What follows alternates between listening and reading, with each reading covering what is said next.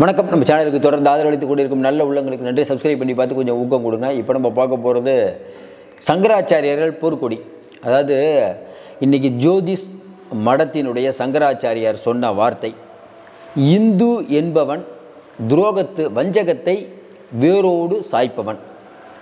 பார் அதாவது வஞ்சகம் வந்து செய்பவன் இந்துவாக இருக்க முடியாது. அதனுடைய பாரத்தை சுமப்பவன் தான் இந்து அப்படின்னு சொல்லியிருக்காரு. சரி யாரை பார்த்து சொன்னார் அப்படின்னு சொன்னீங்கன்னா உங்களுக்கே தெரியும் யாரை பார்த்து சொல்லியிருப்பாங்கன்ட்டு. ஆனால் என்ன ஒரு சந்தேகம்னா என்னங்க சங்கராச்சாரியார் மோடியை பார்த்து இப்படி சொல்லியிருப்பாரான்ட்டு. அப்புறம் கொஞ்சம் யோசனை பார்த்தீங்கன்னா ஆமாம்மா சொல்லியிருப்பார் சொல்லியிருப்பார். ஏன்னா ஏற்கனவே அயோத்தி கோயிலில் சங்கராச்சாரியர்கள் பெரும்பாலும் நாங்கள் வரமாட்டோம். ஏன்னா மோடி வந்து அவர் இஷ்டத்துக்கு பண்ணுறாருன்னு சொன்னாங்க. அப்போயே ஒரு குழப்பம் போயிட்டுருக்கு அப்படின்னு. இவர்கள் சாதுக்கள் ரிஷிகள் சனாதனம் இப்படின்னு தொடர்ந்து மோடி அவர்கள் சொல்லி கொண்டிருந்தாலும் இன்னைக்கு சனாதனம் அப்படிங்கிறது ரொம்ப முக்கியம். சனாதன கொள்கையில் வந்தவர்கள் வஞ்சகத்தை விரும்ப மாட்டார்கள். வஞ்சகம் செய்து உத்தவ் தாக்கரேவை பதவியிலிருந்து எடுத்தது யார்? அதனால் நாங்கள் ரொம்ப காயப்பட்டிருக்கோம். அவர் மீண்டும் முதல்வரானால் தான் எங்கள் காயம் மாறும்னு சொன்னவர் வேற யாரும் இல்லை.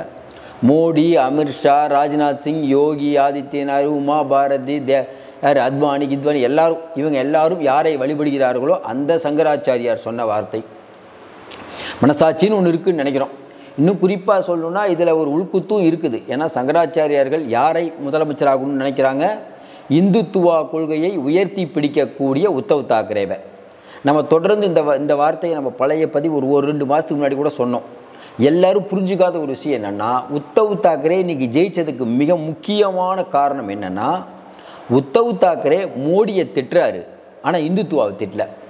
ஆர்எஸ்எஸ்ஸை கபலீகரம் செய்து விடுவார் மோடின்னு தான் சொல்கிறாரே ஒழிய ஆர்எஸ்எஸ் தேவையில்லைன்னு சொல்லலை. ஏன்னா அவருக்கு நல்லா தெரியும். ஆர்எஸ்எஸ் தான் தன்னுடைய பலம். இந்துத்துவா தான் தன்னுடைய பலம். அதை எக்கால அதை அவர் அவர் விட்டுட்டாருன்னா ஷிண்டே எடுத்துருவார். மோடி எடுத்துருவார். அதை எக்காலத்திலையும் விட மாட்டார். ரொம்ப அழகாக ப்ளே பண்ணுறாரு அவருடைய கொள்கை என்ன? சனாதனம் தான் எங்களோட கொள்கை. இப்போ எப்படி? சனாதன கொள்கையில் இருக்கக்கூடிய உத்தவ் தாக்கரேவும் மோடிக்கு எதிராக இருக்கக்கூடிய சரத்பவாரும் ம- காங்கிரஸும் ஒன்று சேருது. இது ஃபீல்டில் உள்ள கிரவுண்டில் ஒர்க் அவுட் ஆகுது. ஏன்னா அவங்க என்ன நினைக்கிறாங்கன்னா சனாதனம் வந்து இந்து முஸ்லீம் கிறிஸ்டின் காங்கிரஸ் முஸ்லீம்கள் தலித்துகளுக்கு ஆதரவு கொடுத்தாலும் நம்மளால் தான் சிஎம் உட்கார போகிறார் உத்தவ் அப்படின்னு அவங்க நினைக்கிறாங்க. இந்த பக்கம் உத்தவ் காங்கிரஸ்ஸு நம்ம சரத்பவார் கூட்டணி அங்கே இருக்கக்கூடிய ஆட்கள் என்ன நினைக்கிறாங்கன்னா நமக்கு என்ன மோடி வரக்கூடாது. உத்தவ் வந்தாலும் பரவாயில்லன்னு அவங்க நினைக்கிறாங்க. ஏன்னா உத்தவ் மோடி ரொம்ப கேவலமாக திட்டுறாரு. மோடி உத்தவ கார்னர் பொண்ணு நினைக்கிறார். இப்படிப்பட்ட சூழ்நிலையில் இன்றைக்கி ஜோதிஷ் அந்த மடத்தினுடைய சங்கராச்சாரியார் இன்றைக்கி உத்தவ் தாக்கரேவை பார்த்துட்டு சொன்ன வார்த்தைகள் அதுதான் இன்றைக்கி மிகப்பெரிய ஒரு அதிர்வலைகளை ஏற்படுத்திக்குது. என்னங்க வஞ்சகம் செய்பவன் இந்துவாக இருக்க முடியாது. உத்தவ் தாக்கரேவுக்கு அநீதி இழைக்கப்பட்டுள்ளது. துரோகத்தால் அவர் வீழ்த்தப்பட்டிருக்காருன்னா அந்த அதை செய்தது யார்? ஊருக்கே தெரியுமே. இன்றைக்கி உத்தவ் தாக்கரே இந்த மாதிரி இருக்கிறதுக்கு நிலைமைக்கு யார் காரணம்? அமித்ஷான்னு ஒன்றே சொல்லக்கூடாது. அமித்ஷானா யார் சொல்லி அமித்ஷா செய்வார்? அமித்ஷாவும் மோடியும் ஒன்று தானே. அப்போ இதை வந்து இதை இன்னொன்று இதை சொன்னதுக்கு அப்புறம் நம்ம சொல்லி ஒரு ஏழு எட்டு மணி நேரம் ஆயிடுச்சு. இது வரைக்கும் பிஜேபிலேருந்து யாரும் ஒரு அறிக்கை கூட இல்லை ஏன்னா பெரியவாள் சொல்லிட்டா என்ன பண்ணுறது கொஞ்சம் யோசனை பாருங்க. எப்படி எப்படி என்ன பேசுவாங்க? அறிக்கை விடுவாங்க. அதனால் இது எல்லாத்தையும் தாண்டிங்க. நீங்கள் சங்கராச்சாரியார் அவர்கள் இங்கே சங்கராச்சாரியார் அவர்களே ஜெயலலிதா அம்மா வந்து சிறை வைக்கும்போது எனக்கு நல்லாவே தெரியும். அப்போ நான் அந்த விஷயங்கள் நிறைய ரிப்போர்ட் பண்ணிகிட்டு இருந்தேன். அந்த ரிப்போர்ட் பண்ணதுனால ஏகப்பட்ட விஷயங்கள் எனக்கு தெரியும். அப்போது எந்தெந்த உயர் ஜாதியினர் நான் பிராமினுக்காக சப்போர்ட் பண்ண மாட்டேன். எல்லாரும் நடுநிலையும் சொல்லிட்டு இருந்தாங்கல்ல. அவர்கள் கூட சங்கராச்சாரியார் அப்படிங்கிற ஒருத்தரை கை வச்சதை ரசிக்கலை. இன்னும் கூட. தமிழ்நாட்டு மக்களால் பிராமணர் அவர். ஆனால் திராவிட இயக்கத்தின் சப்போர்ட்டர் அறியப்படுகிற ஒருத்தர். அவர் வந்து சங்கராச்சாரியார் வந்து ஏன் காரில் வரணுன்ட்டு அவருடைய பிஎம்டபிள்யூ எடுத்துகிட்டு போன வரலாறுலாம் உண்டு. அன்றைக்கி ஜெயலலிதா அப்படிங்கிற உயர் ஜாதியினர் கை வச்சதுனால எல்லாம் அடங்கி இருந்தாங்க. அப்போவே அடங்கி இல்லை. இங்கே இருக்கக்கூடிய நிறைய பேர் கூட. அப் அப்போ இவர்களுக்கான அந்த சங்கராச்சாரியாருக்கான முக்கியத்துவம் இருந்து தெரியும். சங்கராச்சாரியார் சங்கராச்சாரியார் சாதாரண நினைக்கிறோம். சங்கர மடம் தான் நினைக்கிறோம். அது சங்கர மடம் இல்லை அது. இந்தியா முழுக்க இருக்கக்கூடிய எல்லா பெரிய மனிதர்களையும் ஆட்டுவிக்கக்கூடிய இடம். அது சாதாரண இடம் இல்லை. அதனால தான் எல்லோரும் வந்து அதை நம்ம வந்து சங்கராஜ் அந்த அந்த சங்கர மடமும் அங்கே இருக்கக்கூடிய பிராமணர்கள் இவர்களை ஏன் பெரியார்லேருந்து எல்லாரும் எதிர்த்ததுக்கு காரணம் என்னென்னா இது வந்து ஒரு பெரிய அதிகார மையம். கம்மியாக தான் இருக்காங்க. ஆனால் அவர்கள் பெரும் இப்போ பெரும் சமுதாயமான முதலியார் யார் வன்னியர் சொல் யாதவர் கீதவர் எல்லாத்தையுமே இவர்களுக்கு மேலே ஆட்டி வைத்து கொண்டிருக்கிறார்கள். ஒன்றும் இல்லை அண்டர் செக்ரட்டரியில் யார் இருக்கான்னு ராகுல் கேட்டது இதுதான் இப்போ என்ன விஷயம்னா இன்றைக்கி சங்கராச்சாரியார் அவர்கள் இந்த வார்த்தையை சொன்னது அது மட்டும் சொல்லலை அவர் இன்னொரு பக்கம் சொல்கிறாரு அண்மையில் கேதார்நாத் கேதார்நாத் கோயிலோடைய அந்த அஹ், கும்பாபிஷேகம் கிரக பிரவேசம் நடக்குது. அந்த அது என்னென்னா கேதார்நாத் கோயிலுடைய ஒரு நிகழ்ச்சி ஒன்று நடக்குது. எங்கே நடக்குது? புதுடெல்லியில் நடக்குது ஜூலை பத்து அன்னைக்கு. யார் கலந்துக்கிறா? உத்தரகாண்ட் முதலமைச்சர் புஷ்கரி தைபா புஷ்கர் புஷ்கர் சாமி புஷ்கர் சிங் தாபி. அவர் என்ன சொல்கிறாரு அந்த சங்கராச்சாரியார் முன்னிலையிலேயே கேதார்நாத் கோயிலுடைய தலைநகரம் டெல்லியில் இருக்குதுங்கிறது. என்ன சொல்ல வராரு? கேதார்நாத் கோயில் அப்படிங்கிறது உங்களுக்கு தெரியும் புகழ்பெற்ற கோயில். அந்த கோயிலுடைய தலைமையகம் டெல்லியில் இருக்குன்னா மோடியை சொல்கிறார் ஏன்னா அவர் தானே கடவுளின் குழந்தை. அதுக்கு இன்றைக்கி சங்கராச்சாரியார் சொல்கிறாரு கேதார்நாத் கோயிலுடைய தலைமையகம் இமயமலையில் இருக்கிறது. ஆனால் ஒரு முதலமைச்சர் சொல்கிறாரு புதுடெல்லியில் இருக்கிறது. இது எப்படி சரியாக வரும்? இவர்கள் எப்படி சனாதனத்தை தூக்கி பிடிப்பார்கள்னு சொல்கிறாங்க என்னங்க? இதனால் என்னங்க பாதிப்புனா உங்களுக்கு ஏற்கனவே தெரியும். பிஜேபி எதை நம்பிட்டு இருக்குது இந்துக்கள் இந்துக்களில் பெரும்பாலும் ஓபிசி ஓட்டு போட மாட்டாங்க. இவங்க பெரும்பாலும் நம்பிட்டு இருக்கிறது உயர் ஜாதியினர். உயர் ஜாதியினரை எப்படி இவங்க ஒன்றுபடுத்தினாங்க? இந்துத்துவாங்கிற வச்சு ஒன்றுபடுத்தினாங்க. இந்துத்துவா அப்படிங்கிற ஒன்றை மையமாக வைத்து பெரிய அரசியல் இயக்கத்தை தொடங்கியவர் பால் தாக்கரே ஐயா. அந்த இந்துத்துவாவை அவர் பெரிய லெவலுக்கு பண்ணும்போது நாங்களும் இந்துத்துவான்னு வர பிஜேபி பெருசாக எடுபடலை. ஏன்னா அவர் தான் சூப்பர் ஸ்டார் இந்துத்துவாவாக இருக்கார். இவங்க இந்துத்துவான்னு வந்தாங்க. வந்து என்ன பண்ணுறாங்க ஸ்ட்ரைட்டாக பால் தாக்கரேவோட கூட்டணிக்கு வராங்க. வந்துக்கிட்டு மெதுவாக என்ன பண்ணுறாங்க நாங்கள் தான் பெரிய இந்துத்துவா. நாங்கள் டெல்லியை ஆள்றோம். டெல்லியில் ஆளும்போது எங்களால் இன்னும் பலது பண்ண முடியுங்கிறனால கொஞ்சம் கொஞ்சமாக ஆளை எடுத்தாங்க இந்துத்துவாலேருந்து இப்படி நல்லா போயிட்டு இருக்க நேரத்தில் தொடர்ந்து நம்ம சொல்லிட்டு இருக்க மாதிரி இந்துத்துவா கொள்கையை உயர்த்தி பிடிக்கக்கூடிய உத்தவ் தாக்கரே நாங்களும் இந்துத்துவான்னு சொல்கிற மோடி இந்த ரெண்டு பேரும் ரெண்டு பேரலாக வரும்போது இவர்களுக்குள் ஒரு பிரச்சனை வருது. அப்போ என்ன நடக்குது? உத்தவ் தாக்கரே இருந்தால் பிரச்சனைன்னு சொல்லி உத்தவ் தாக்கரே அடிச்சுட்டு ஷிண்டேவை கொண்டு வந்துட்டாங்க. கொண்டு வந்துட்டு என்ன சொல்கிறாரு மோடி? பாருங்க இந்துக்க அதாவது காங்கிரஸ்ஸு காங்கிரஸு சரத்பவார் இவர்களோட கூட்டணி வைக்கிறார் இவர். இவர் சனாதனத்துக்கு எதிரினார். உடனே உத்தவ் தாக்கரே சொல்லிட்டார் சனாதனம் அது எங்கள் உயிர் போன்றதுன்ட்டு உதயநிதி சனாதனத்தை பேசினோடனே கண்டித்தது உத்தவ் தாக்கரே.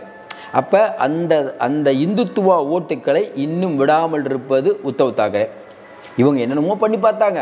உத்தவ் தாக்கரே இந்தியா கூட்டணியில் இருந்தாலும் அவர் சனாதனத்தை விட்டு பிடிக்கல. அதுதான் அவருடைய எப்படி சொல்கிறது கோர் ஐடியா அதுதான் உத்தவ் தாக்கருடைய பலம். அவர் கொண்ட கொள்கையில் உறுதியாக இருக்கும் இல்லைன்னா அவர் அவரோட ஓட்டு போயிடும் அப்போ என்ன சிக்கலாவது உத்தவ் தாக்கரே வரணும். இன்றைக்கும் இப்போ ஒரு அவருக்கு எல்லா கோயிலுக்கும் போகிறதாகட்டும் இன்னொன்று சனாதனத்தை என்றைக்கு நான் கைவிட மாட்டேன். அவ்வளோதான் ஒரு ஸ்டாண்ட் அந்த கோர் ஓட்டை கை வைக்கணும்னு மோடி நினச்சது எண்ணம் நிறைவேறல. இப்படி போயிட்டுருக்க நேரத்தில் மோடி எங்கே பின் பின்வாங்குறாருன்னா ஏற்கனவே சரத்பவார் கூட இருக்கிற நீங்கள் வந்து இவரை கூப்பிட்றீங்க யார்? அஜித் பவார். அவர் ஏற்கனவே சனாதனம் விதானம்லாம் சரத்பவாருக்கோ காங்கிரஸுக்கோ பெருசாக உடன்பாடு இல்லை. அங்கேருந்து ஒருத்தர் வர வர நீங்கள் எப்படி ஏற்றுக்கிறீங்க பிரபு பட்டேல்னு ஒருத்தர் உள்ளே வந்தார். அவர் சனாதனம் ஏற்புடையவரா காங்கிரஸ்லேருந்து வர்றார். அவர் ஏற்புடையதா? அசோக் சவான். அவங்கெல்லாம் ஏற்கனவே சனாதனத்துக்கு எதிரானவங்க தானே. நீங்கள் தானே சொல்கிறீங்க காங்கிரஸ்லாம் சனாதனத்துக்கு எதிரானவங்கன்னு. அப்போ மோடியும் அவுட் ஆகிறார். மோடி ஒழுங்காக உத்தவ் தாக்கரையை விட்டு தொலைச்சிட்டு சிண்டே நம்ம அஜித் பவரை உடைக்கலைன்னா இன்னும் மோடியோட செலவு உயர்ந்திருக்கும்.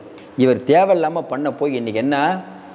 வரக்கூடிய தேர்தலில் இந்துத்துவாவை குறிவைத்து மோடி சில வேலைகளை பண்ணுறார் என்ன சொல்லுவார் போய்? இப்போ வரக்கூடிய எம்எல்ஏ எலெக்ஷன் என்ன சொல்லுவார்? நீங்களே கொஞ்சம் யோசனைப்பார் எம்பியில் சொன்ன மாதிரி தான். அதை விட ஒருபடி மேலே போய் சொல்லுவார். மக்களே பாருங்கள் நான் இந்துக்களே ஒன்று கூடுங்கள். நான் இந்துவின் பிரதி பிரதிநிதி ஐயா உத்தவ் தாக்கரே காங்கிரஸோடும் காங்கிரஸ்னால் கிறிஸ்டின் பார் கிறிஸ்டினோடும் சிறுபான்மை மக்களுக்கு நிறைய இடத்த கொடுக்குறாங்க. நம்மெல்லாம் இந்துக்களாக ஒன்று கூடுவோம்னு சொல்லலான்னு போனார். இப்போ இந்துக்களின் பிரதிநிதியாக இருக்கக்கூடிய சங்கராச்சாரியாரே வஞ்சகத்தை செய்பவர் என்றைக்கும் இந்துவாக இருக்க முடியாதுன்னா ஒரு சாதாரண இந்து இதை எப்படி யோசிப்பான்? ஆமாப்பா. என்றைக்குமே ஒரு ஒரு ஒ- ஒரு நற்காரியங்களை செய்பவன் தான் இஸ்லாமியர். நற்காரியங்களை செய்பவர் தான் கிறிஸ்துவர். நற்காரியங்களை செய்தவர் தான் இந்து. எல்லா மதமும் இதான் சொல்லுது. ஆனால் அந்தந்த மதத்தில் இருக்கக்கூடியவர்கள் இதை கேட்கும்போது இப்போ நம்ம ஒரு கிறிஸ்டினாக இருக்கணும்னு வச்சுக்கோங்களேன். நல்லவற்றை செய்பவர் தான் கிறிஸ்துவர். இன்னொன்று இன்னொருத்தர் அடித்தாலும் நீ அவருக்கு நன்மையே செய். அவர் தான் கிறிஸ்துவர்னா நம்ம என்ன நினைப்போம்? கிறிஸ்துவராக இருந்து நம்ம மதம் இதை தான்ப்பா சொல்லுதுன்னு சொல்லுவோம். அதே போல் தன்னுடைய மதத்தை யார் உயர்த்தி பிடித்தாலும் அவர்களை நம்ம பிடிக்கும் நமக்கு. அதே போல் ஒரு இந்துவாக இருக்கக்கூடிய ஒரு ஆள் இப்போ எப்படி பார்ப்பாங்க? மோடி சொல்கிறத கேட்பானா சங்கராச்சாரியார் சொல்கிறது கேட்பாங்களாம் ஜோதிஷ் மடத்தின் பீடாதிபதியாக இருக்கக்கூடிய சங்கராச்சாரியார் சொல்கிறாரு எங்களுடைய மனம் புண்பட்டு விட்டது. உத்தவ் தாக்கரே மறுபடியும் முதல்வராக வர வேண்டும்ங்கிறார். ரைட். இப்போ இந்துக்கள் அதாவது கோர் இந்துத்துவா ஓட்டு யாருக்கு நீங்களே சொல்லுங்கள் மறுபடியும் நம்ம சொல்கிறோம் இந்துக்களே ஒன்று கூடுங்கள் இந்துக்களே ஒன்று கூடுங்கள்லாம் எப்படி கூடுவாங்க? ஒன்றும் கூட மாட்டாங்க. அதுதான் ஏற்கனவே சொல்லிட்டாரே. சாமியாரே சொல்லிட்டாரே. மோடியை தான் வஞ்சகம் பண்ணாருன்னு. இப்படிதானே சொல்கிறாரு வேறு என்ன சொல்கிறாரு தமிழில் தான் சொல்லியிருக்காரு. எப்படி சொல்கிறாரு அவர் அவர் லாங்குவேஜில் சொன்னாலும் தமிழில் தானே அர்த்தம்? வஞ்சகம் அப்படி தானே சொல்கிறாரு ரொம்ப க்ளீனாக வேறு சொல்கிறாரு வஞ் அதாவது வஞ்சகத்தை சுமப்பவன் இருக்கார்ல அவர் தான் இந்து. வஞ்சகத்தை ஏற்படுத்துவன் இந்து அல்ல. நிறைய உதாரணம் இருக்குது. சகுனியிலேருந்து ஆரம்பித்து எவ்வளவோ சொல்லிட்டு போகலாம் இப்போ இந்த விஷயம் இப்போ மகாராஷ்டிரா அரசியலில் பெருமளவுக்கு எடுபடுது. இன்னும் இது சம்மந்தமாக ஒருத்தர் கூட வாய் பேசலை. ஏன்னா இப்போ யாராவது வேறு யாரும் சொல்லியிருந்தா ஷிண்டே சொல்லியிருப்பார். அவர் ஒரு துரோகி. அவர் வந்து கைக்கூலிம்பார் சங்கராச்சாரியார் இந்த மாதிரி சொல்ல முடியுமா? ஏங்க நீங்கள் ஒரு ஆள்கிட்ட இருந்தீங்க அவர்கிட்ட அவரை ஏமாற்றி அவர்கிட்ட எம்எல்ஏக்கு கொண்டு வந்து முதலமைச்சரானீங்க உண்மையா இல்லையா? அப்படின்னா ஷிண்டே என்ன பதில்? என்ன கொள்கை? உத்தவ் தாக்கரேருந்து எதுக்கு வெளில வந்தார்? சொல்லுங்கள் என்ன கொள்கை? மோடி இதை எப்படி என்ன பண்ணுவார்? என்ன பேசுவார்? லேட்டஸ்ட்டாக கிடைச்ச தகவல் ஏங்க தயவுசெய்து பேசாமல் இருங்கன்னு சொல்லி சாதுக்கள் மூலிமா பண்ணுறாங்க ஆனால் ஏற்கனவே சாதுக்கள்லாம் இவங்களுக்கு அகேன்ஸ்டாக போயிட்டாங்க. இன்னொன்று சொல்லிடுறோம். ஆர்எஸ்எஸ் அப்படிங்கிறது இதில் என்ன பண்ணுதுன்னா அவங்களுக்கு உத்தவத்து வந்தாலும் நல்லது மோடி வந்தாலும் நல்லது. அதனால் ஆர்எஸ்எஸ் உள்ளே போல. இல்லைன்னா ஆர்எஸ்எஸ் கொஞ்சம் ஆஃப் பண்ணியிருக்க முடியும். சங்கராச்சாரியா ஏங்க நம் என்ன இருந்தாலும் நம்ம ஜீங்கன்னு சொல்லியிருக்க முடியும். ஆனால் என்னென்னா கையை மீறி போயிடுச்சு. ஏன்னா அவங்க என்ன நினைக்கிறாங்க? பரவாயில்ல மோடிக்கு ஒரு செக் உத்தவே இருந்துட்டு போடும் நம்பால் தான். என்ன இருந்தாலும் நம்மளால் இருக்கட்டும். எப்படியோ மோடிக்கு ஒரு பெரிய ஆப் ரெடி ஆயிடுச்சுன்னு தான் பெரிய அளவுக்கு பேசப்படுது. மோடி நம்ம சொல்கிறோம் மகாராஷ்டிராவில் தொடர்ந்து ஏற்கனவே வாக்குகளை இழந்து கொண்டிருக்கக்கூடிய மோடிக்கு மோடிக்கு இது ஒரு பெரிய இடி. இதை எப்படி சமாளிக்க போகிறாங்க இதுக்கு இது வரைக்கும் அவங்க வந்து எந்த கமெண்ட் கொடுக்க இன்னமும் சொல்கிறோம் அது இதுக்கு எதிர்த்து யாரும் சொல்லவே மாட்டாங்க. என்ன திரும்ப சொல்லுவாங்க? பெரியவர்கள் சொல்லியிருக்கிறார்கள் பட் வஞ்சகம் என்று சொல்வது எங்களை அல்ல. எங்களுக்கு வஞ்சகம் செய்யவே தெரியாது. அப்படி தான் சொல்லுவாங்க. மக்களுக்கு வந்து கேனையே நினச்சிட்டு பேசிகிட்டு இருந்தால் நம்ம என்ன பண்ண முடியும்? பொறுத்திருந்து பார்ப்போம். மீண்டும் சந்திப்போம். நன்றி. வணக்கம்.